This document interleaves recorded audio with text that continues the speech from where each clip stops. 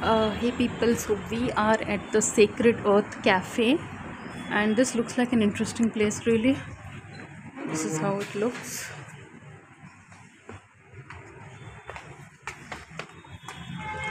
Pretty cute. I think, man, this is unbelievable.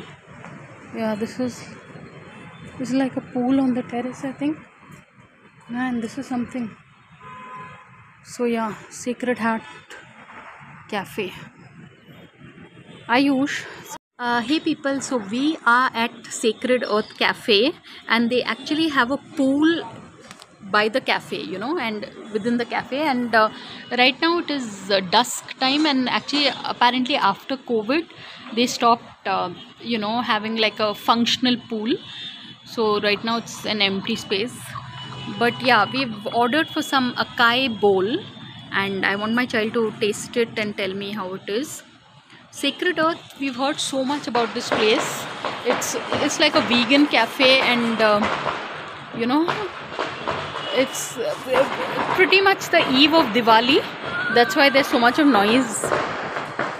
But yeah, this is how it is, and it looks beautiful. And that's right. And I'll do the remaining rest of the recording. I think once the food comes. And there is space to go that way. So that is nice. Yeah once the food comes is when we'll do the longer recording